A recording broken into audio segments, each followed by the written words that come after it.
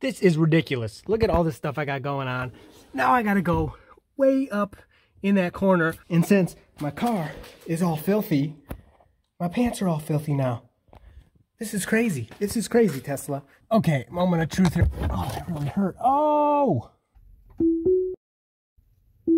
What's going on everybody? Today we are talking about essentials you need in the winter. Some of these are Tesla specific, some are not. Uh, and you can see behind me, my car is all covered up. So this video is actually sponsored by the Model 3 Part Shop and they wanted to do a giveaway. Uh, so this video is my idea, but I figured this would be a good video to incorporate the giveaway. So they're gonna be giving away two of these car covers two sets of all-weather floor mats, the exact kind I'm using, which are really, really nice. So how the giveaway is going to work, you got to watch to the end of the video.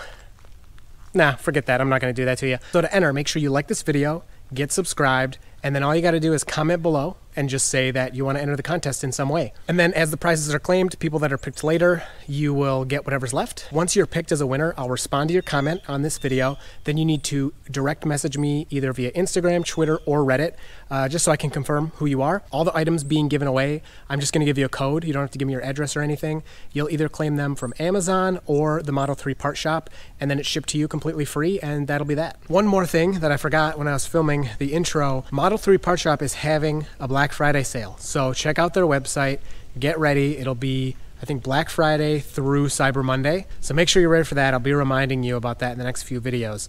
Um, so get ready for their Black Friday sale. And this stuff that you're going to win, just put it in your cart right now because you're going to win it. And then I'll give you the code you just put the code in, it gets shipped right to your house. Uh, so get ready to win this stuff. So with that said, let's get started. First thing we're gonna look at is winter tires. Uh, I have winter tires and I have all seasons to compare. And most of the stuff I talk about will be in the description of this video if you wanna check it out. If you have any questions besides entering the contest, you can comment below. I will get back to you on my experience with using these different things. These are all things I've used, uh, not every winter, but most winters, um, and I really recommend.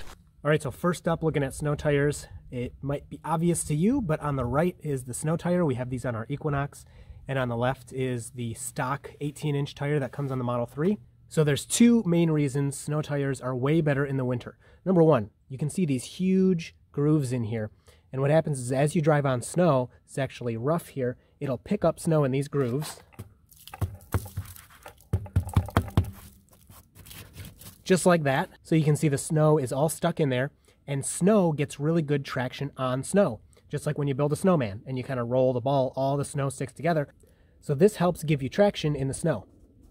You can see on the all season, I can do the same thing, but there's not nearly as much. This is a lot thinner and there's not as much snow in there to stay stuck. The second reason snow tires are way better is because the rubber is made to be softer at colder temperatures. So as this rubber gets cold, like anything, it'll get harder. But this rubber is designed to work at colder temperatures, so it'll stay rubbery and flexible longer. I can already tell, having driven both of these cars, the snow tires make a huge difference. I have had them on previous cars, and they're way, way better. Here's a better look at the snow tire, and don't get me wrong, all-wheel drive will help you get going despite your tire, but the big problem is it will not help you stop and that's where you can run into danger if you don't have snow tires. And the more that I talk about them and look at them, I am really tempted to get some for my Model 3, and I may do that if not only to stop all the comments I keep getting begging me to get snow tires. So here is the car cover, fits on really nicely. We got some orange markings on the corners here so that in case the car is parked somewhere, those will reflect. Other people will see it if they drive by.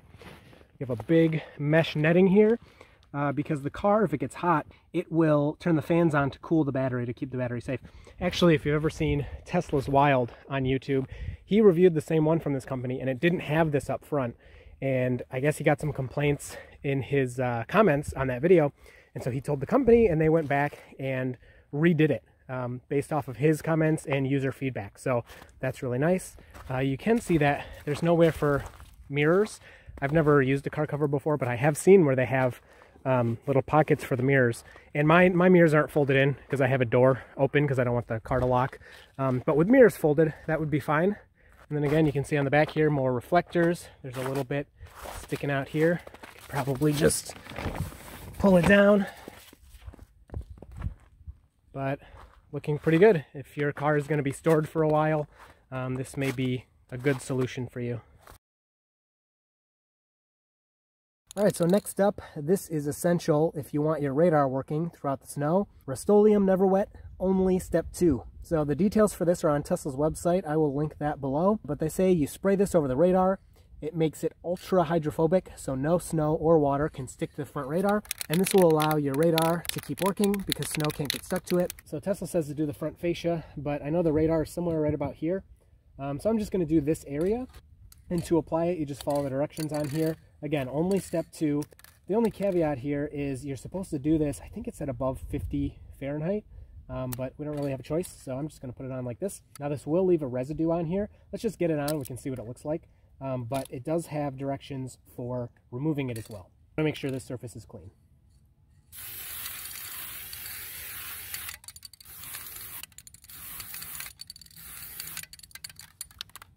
You wait about a minute in between applications and I avoid the um, ultrasonic sensors here. They don't say you need to, but I know that these are fine as long as they're not completely covered in snow, so I don't want to put it on there.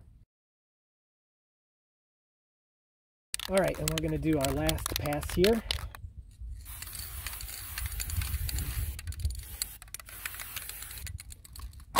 So that should be it. It'll be ready so it says allow 30 minutes to dry for light use and 12 hours for full use. We will test this out just a little bit because I want to see how hydrophobic it is, but I'll let it sit for just a little bit and we'll come back to that. All right, here it is. It's been about a half hour. It does kind of look like crap, but to be fair, in the winter, your whole car is covered in snow and it fits in, you know, my channel pretty well. So here's some water. And yeah, you can see where that is. Absolutely cannot stick at all. It's actually pretty funny looking. Toss a snowball at it. Nope. You can see snow is sticking around the outside, but will not stick where I throw it. So if I throw the snowball over here, yeah, you can see the snow is sticking to the car, of course.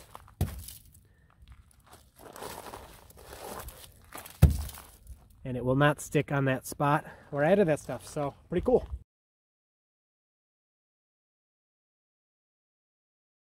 Next up is this snow cover for the windshield. I don't know if you've ever used one of these. I used them on my last car. They make it so much easier if you have to park outside. Uh, so I park in the garage at home, but at work, sometimes we'll, you know, get a snowstorm while you're at work all day.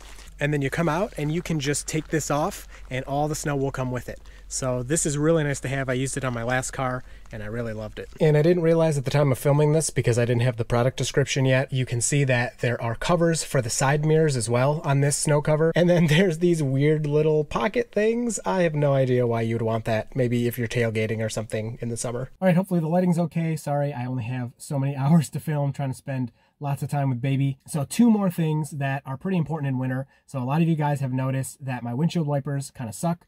Um, so I got some new ones. These right here, I'm to put them on really quick. I'll do a before and after test with those, just with the windshield fluid, but I will be using these for at least a few days before the video goes up. Just a really quick example for you while I'm stopped here. Uh, these are the new wipers, and they're really good. No streaking, and they're a lot quieter. Um, but they're just normal windshield wipers, nothing too special about them. They were sent to me by some other company. They just wanted me to mention them and tell you guys about them, so I'm not to do a video about them. The same company also sent out some air filters, so I will have a code for 10% off of these in the description for you. Um, these are just the normal air filters. I know I've seen the videos about the HEPA filters, um, but honestly, like, I'm a biologist. I don't really think you need those in your car, and I don't think they're helping you too much don't kill me. Um, but I, I don't know. They're really expensive for what they are. I think it's ridiculous. So I'm just going to put these normal filters in. So I'm going to take mine out. We'll see how nasty they are. I'm sure they're terrible. This is a good time of year to do this because in the fall with all the leaves and the dust from the leaves falling, and for me, the dirt roads get really nasty in the fall. Um, so now that it's winter and things have kind of settled down, it's a good time to put in these nice clean air filters and they should stay clean throughout the winter. There's not too much kind of flying through the air. So let's check out these wipers first and then I'll do the air filters. Pro tip for lighting, turn your headlights on. Okay, so here are the stock wipers. I'm at about 26,000 miles on my car. These are the wipers that came with the car.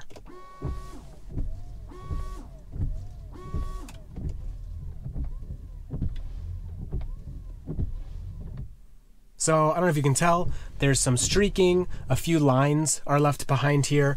Um, and I think the real test is going to be in the weather when there's rain and stuff. You guys have complained a little bit about um, my window being smudged. So I really hope these new wipers will help. So I will install these really quick and we can check them out.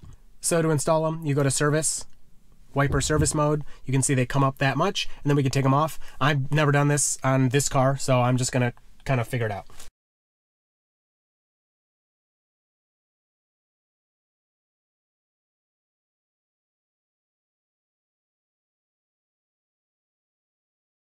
All right, so happy to report, like a lot of things Tesla, that was really simple. So I had never changed those before. I didn't look up a tutorial or anything. If you look here, I'm lighting this up for you. Um, this button is exposed when you look at the wiper. You literally just push this button and you slide the wiper off.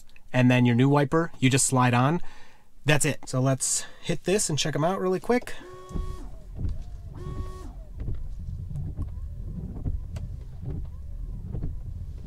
So it looks a little better actually. Um, the streaking's a little less. It's not dramatic, um, but it does look a little better. What I did notice, and I don't know if it came across in the video, they're way quieter. They sound like they're gliding on the glass more than rubbing on the glass. Um, so that's really nice. I mean, they're just standard wiper blades. Okay, so we're in the passenger footwell here. Behind here is where your cabin air filters are. I'm not going to go through this. Um, I just watched Brian from Iowa Tesla. I just watched his video. I put it up on the screen in my Model 3. But again, there's nothing too special about these air filters or the process I'm doing here. But I got these and I got them 10% off for you. This is ridiculous. Look at all this stuff I got going on. Now I got to go way up in that corner. There's this tiny screw way up there. And this guy's just like, oh yeah, it just takes two seconds. It's really easy. I'm not cut out for this stuff. And since my car is all filthy, my pants are all filthy now. This is crazy. This is crazy, Tesla. Okay, moment of truth here. I got this door off. I barely even fit in this little spot. It is cool that it says Tesla on it. It has the logo, made in Germany. Um, ow, how do I even get it out of here? Oh, that really hurt. Oh! That is nasty. Look at that.